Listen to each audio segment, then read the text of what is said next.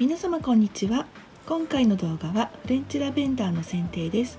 それではご覧ください。こちらは我が家で育てているフレンチラベンダーの11月6日の様子です。ラベルにはラビットラベンダーと書いてあります。ストエカス系とも言いますがお花の上の部分がまるでウサギの耳のようでとても可愛い品種です。5月の下旬に花がら摘みを兼ねて軽く剪定し土の表面に苦土石灰をまいてあります。私がラベンダーを育てる上で参考にしている本によると今の時期11月上旬はフレンチラベンダーの強剪定ができる時期とのことです。草丈の半分くらいで切っても大丈夫なようです。株が大きすぎて画角に入りきらないのですがだいたい半分くらいで切っています。まずは大まかに切っています。その後枯れた枝や細くて弱い枝を付け根から切ります。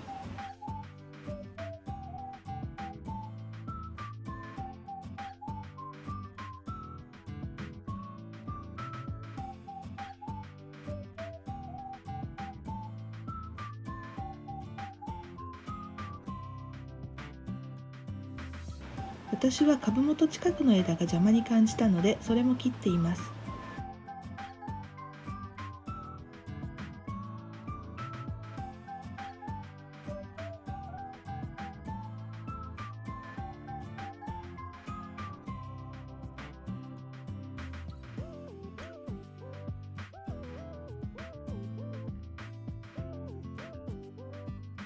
このように細い枝を付け根から切ります。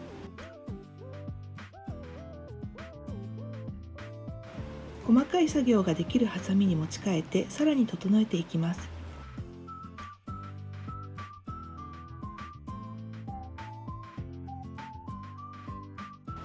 株元に落ちた葉っぱを取ります。だいぶコンパクトになりました。こ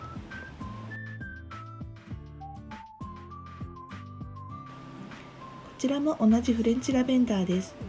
品種はマグナムスターパープルです。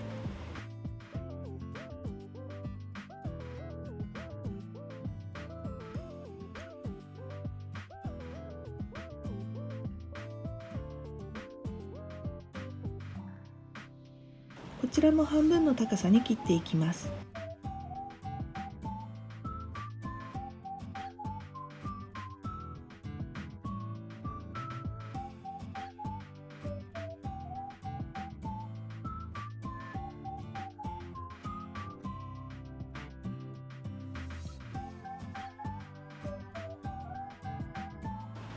ハサミを持ち替えて整えます。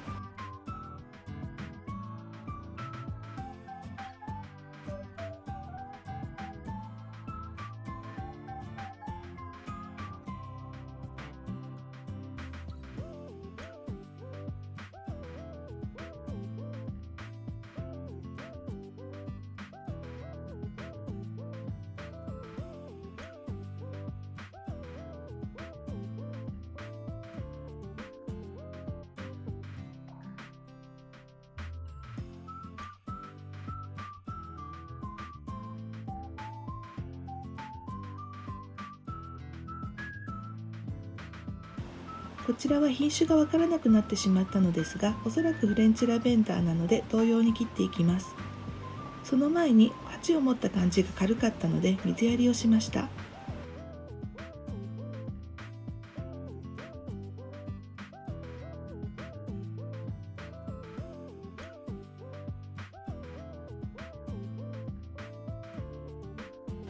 細い枝を引き出すようにしながら切りました。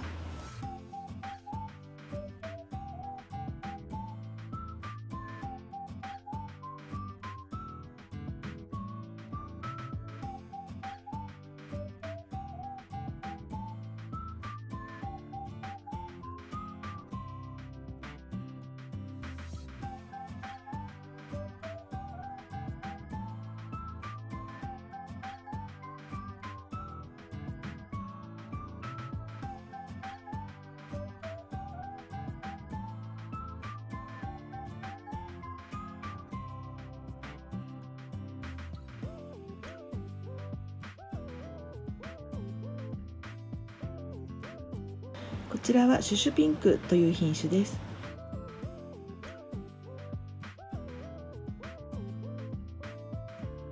いつものことながら切っているうちにもっともっと切りたくなってしまい気づけば半分よりも低くなってしまっている気がします。この後の管理は水やりの回数を徐々に減らし乾燥にならすようにします。置き場所は北風の当たらない日当たりの良い場所が理想ですが我が家の環境だとなかなか難しいので1日数時間程度は日が当たる場所に置いています。肥料については今の時期は特に必要なく次に肥料を与えるのは3月とのことです。ラベンダーについての動画は以上です。ここから先はその他の草花のお手入れをしていきます。よろしければ引き続きご覧ください。こちらはガーデンガーベラのガルビニアです。7月下旬に見切り品で購入したものです。お花の時期が早春から晩秋までととても長く楽しめるお花です。病害虫に強く改良された育てやすい品種ですが最近うどんこ病が出てきました。アブラムシも少しついてしまっています。対策としてアーリーセーフを散布します。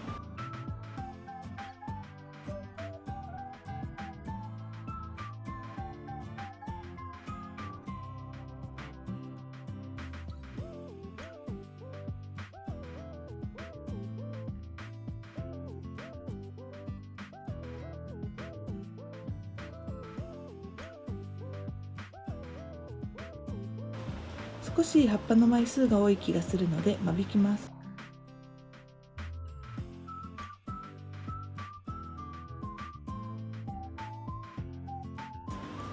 こういった傷んだ葉っぱを優先的にカットしていきます。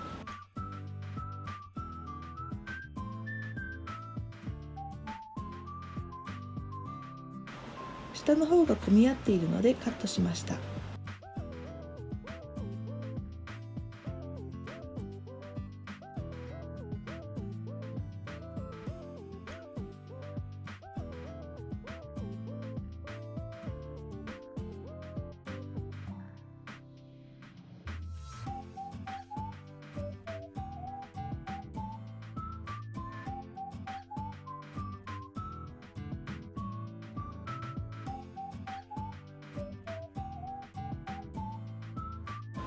つぼみの邪魔になるような葉っぱをカットしました。だいぶすっきりしました。こちらはピレアです。品種はサンパウロです。観葉植物ですが今は外で育てています。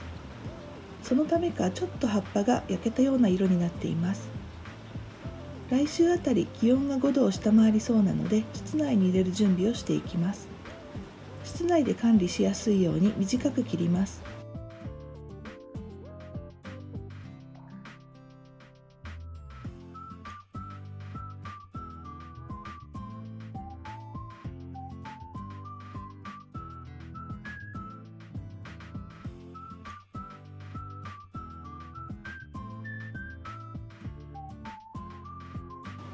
室内に入れる前にはたっぷりと水やりします。こうしておくとしばらく水やりしないで済みます。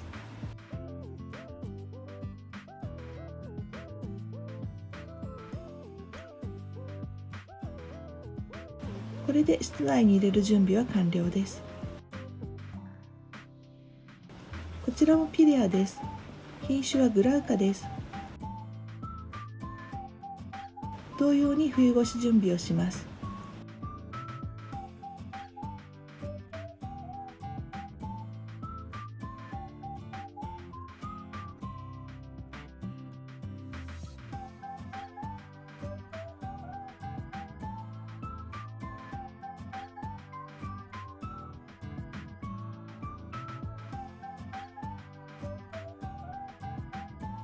こちらはガーデンヒポエステスのピッピです。こちらも同様に冬越し準備をします。株元を見ると新しい葉っぱが出ています。昨シーズンはこの株元の葉っぱだけで冬を越しました。PW のサイトを見ると秋以降は伸びすぎた枝のみを切るとありますので本来は今ご覧いただいているこの姿のままで良いのだと思います。ただ私はなるべく小スペースで冬越しをしたいので昨シーズン同様株元で切ってしまいます。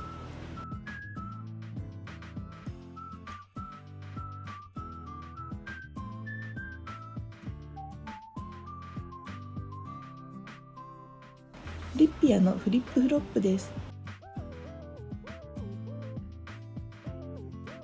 こちらはすでに切り戻してあります。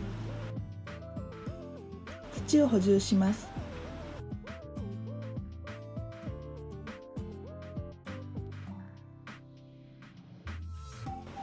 これで冬越し準備完了です。ユーフォルビアのフロステッドフレームです。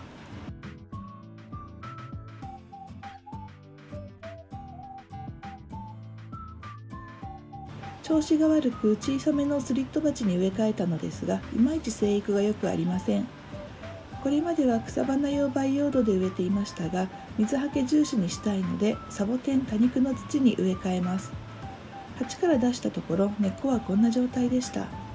これはよくありません。根っこが全く張っていません。葉っぱの枚数を減らします。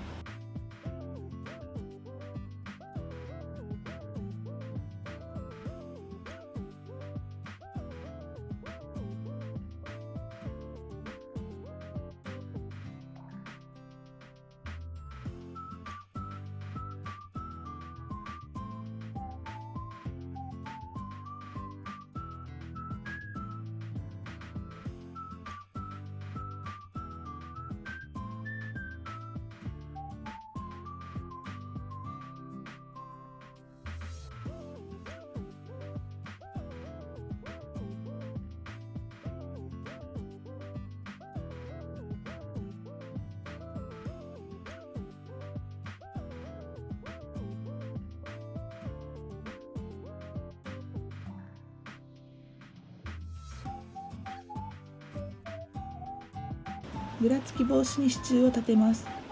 支柱はもっと短いものが理想です。